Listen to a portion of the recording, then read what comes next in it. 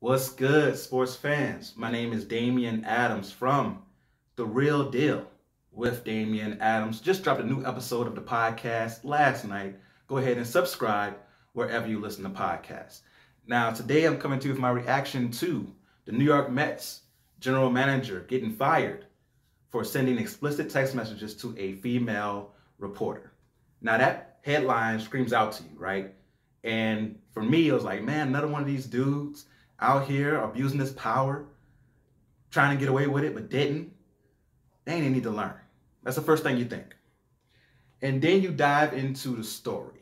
And ESPN had the exchange, keyword exchange, of text messages between the reporter and uh, now former GM of the New York Mets.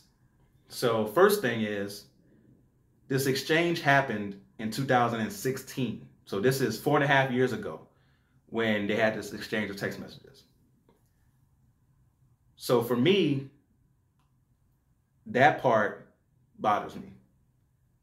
So this man was working his way up the ladder. He was at a whole different team back then, working his way up the ladder, becomes a general manager, right? He hasn't even had the job for maybe, you know, a month, month and a half. Probably doesn't even have one of those nameplates yet that you put in front of your desk. He just got the job. And then this comes out, right? But they say they did try to reach out to the reporter before she didn't want to come out. And then once you start reading the text messages,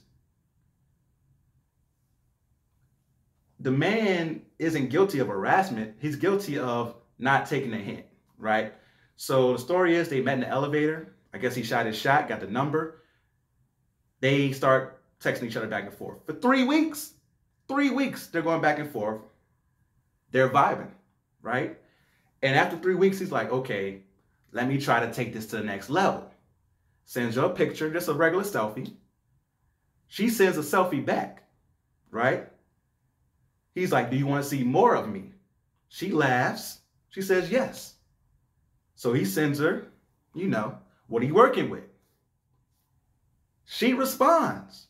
At this point, if you're not interested, and you thought, you know, this was a misunderstanding, I just want to be friends, you say it right then and there. If you say it right then and there and he continues, then you report him because that's sexual harassment. But she continues to go with it, right? And ask if he was married. So you're asking if he's married because you're interested in what you see. He says nope with an exclamation point saying, I'm single, ready to mingle, let's go. Then she ghosts him. He continues to text. Now, this is where he messed up. He should have took the hint after two, three, four days of not responding.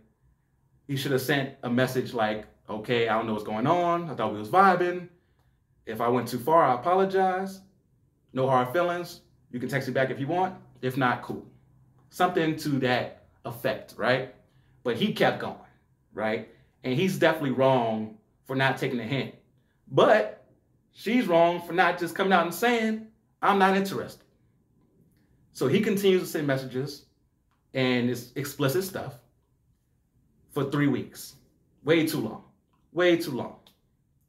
She then finally responds and says, This is inappropriate. I don't want these messages. You know what he did? He stopped.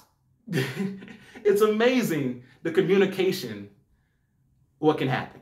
Now, are there a lot of creeps out here that would have kept going and used their power to abuse it? Yes. But this isn't one of those cases. I feel like his most guilty thing is not taking a hint. Once she said, stop it, he said, I'm sorry. You know, let me know if you need anything work wise.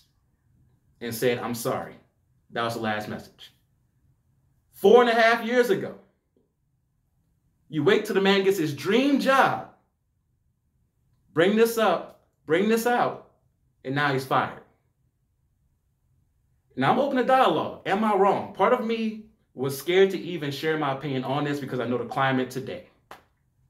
And some people may view this video and look at me as, you know, chauvinistic, as somebody who's sexist and all these type of things. And that's not the truth at all. But looking at this particular case, I can't look at it and just wag my finger and say that he was so wrong. He made him, he made several mistakes. Like he went on way too long.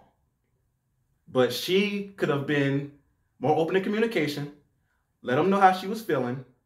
And it seems like from what happened at the end, he would have been like, cool, I'm done. But she let him on. He didn't take the hint once he was ghosted. But now he's fired for not taking a hint four and a half years ago? Am I wrong? Am I tripping? Please let me know in the comment section below. And until next time, go real or go home.